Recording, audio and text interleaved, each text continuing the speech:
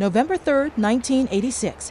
The Iran Contra affair begins to unfold as a Lebanese magazine breaks the story of secret U.S. arms sales to Tehran.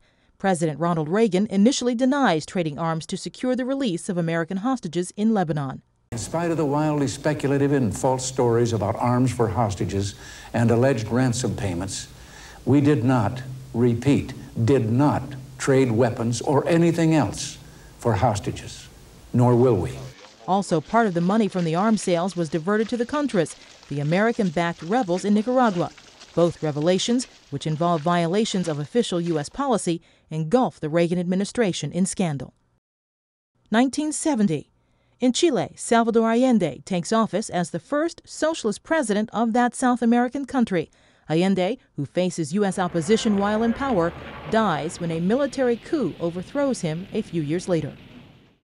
1992. In Illinois, Carol Moseley Braun becomes the first black woman elected to the U.S. Senate. And 1998. A political body slam in Minnesota. We've shocked the world. Minnesota leads the way. Where former pro wrestler Jesse Ventura wins the governor's race in an upset. Today in history, November 3rd. Carlotta Bradley, The Associated Press.